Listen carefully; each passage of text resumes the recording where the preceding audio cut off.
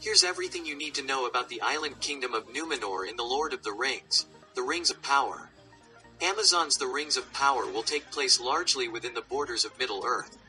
The elves and dwarves are in their heyday, while men and hobbits are still developing ready for their third age blossomings. Unlike The Hobbit and The Lord of the Rings, however, the Rings of Power will step foot outside Middle-earth, taking a short hop across the ocean to Numenor. The Numenoreans and their ancient island realm are referenced in passing during The Lord of the Rings, but don't physically appear, for good reason. More on that later.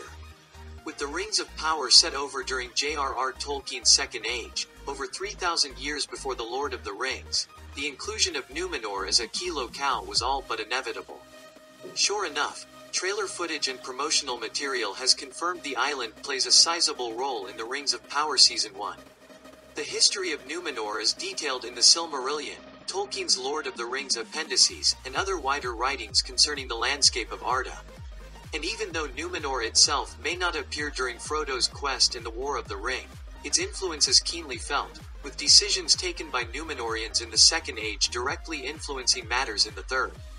As the Rings of Power's Numenorean expedition approaches, here's our full breakdown on this tragically glorious realm.